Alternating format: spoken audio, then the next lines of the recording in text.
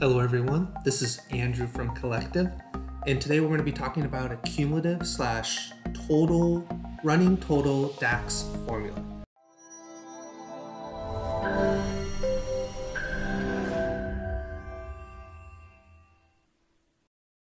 And what this is really going to allow you to do is it's going to allow you to compare a metric over a period of time in a really compelling way.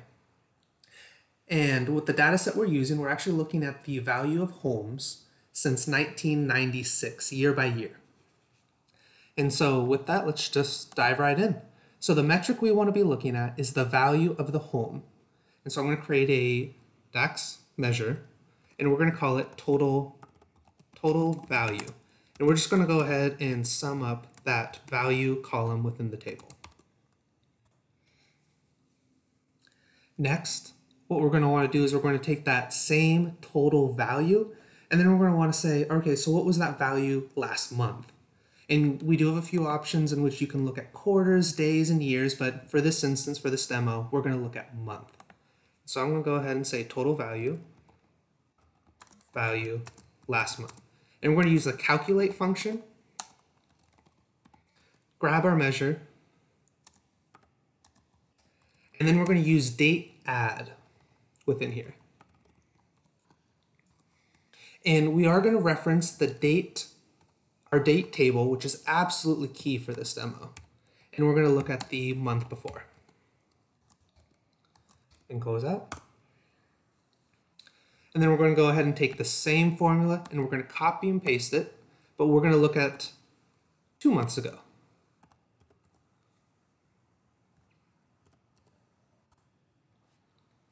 And so now let's go ahead and set this up and see what we have going here.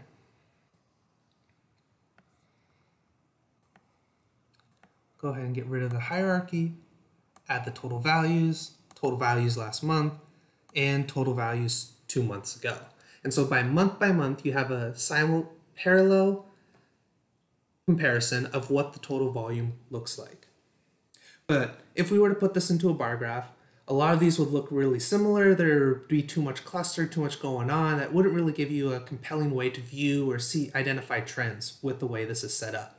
And so this is really where the cumulative running total comes into play. And so we're just going to go ahead and set that up. And so we're going to create a new measure. And we're going to call it cumulative total. It's going to equal calculate total value And then we're going to go ahead and filter the data set. So we're going to look at all selected within the date table. We're going to reference that date again.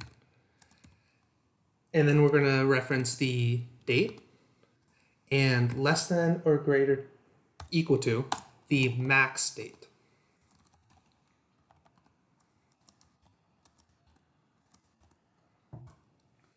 That's going to be our first metric. And we're going to go ahead and also put that in here.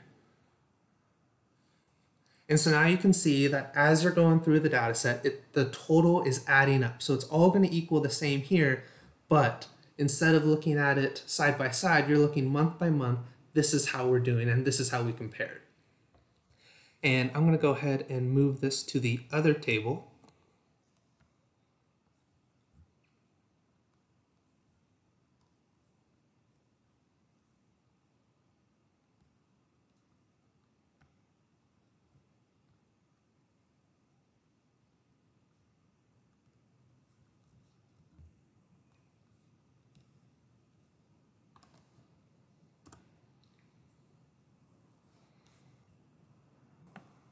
And add it back in there.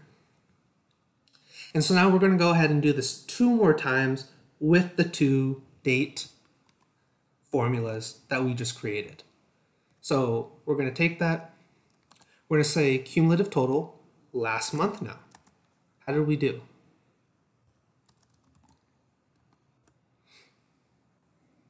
And then we're going to do that one more time, but for two months ago.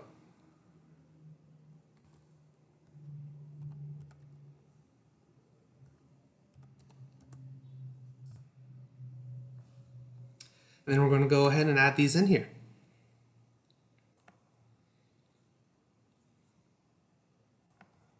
And then I'm going to move this over to the right and show you how this kind of works, kind of works dynamically. And so we're going to go ahead and add a slicer in here so we can compare months.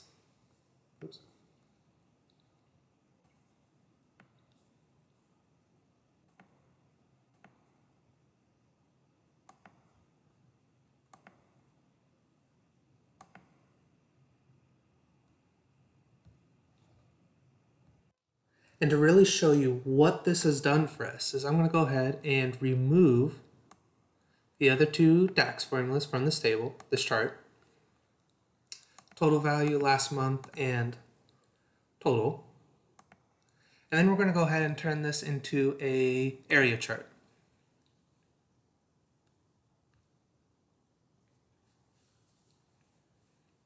And now you can see since the year 2000, how are we comparing month over month.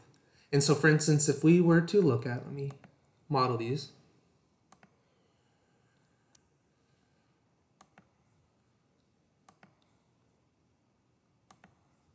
Really get an idea of what we're looking at. So month over month, looks like we're varying about 100 million. And this really is a compelling way to see how you guys are doing. And what's really cool about this technique is this doesn't really take a long time and you can quickly compare how you guys are doing monthly, month over month. And that about wraps up this video. Thank you for listening.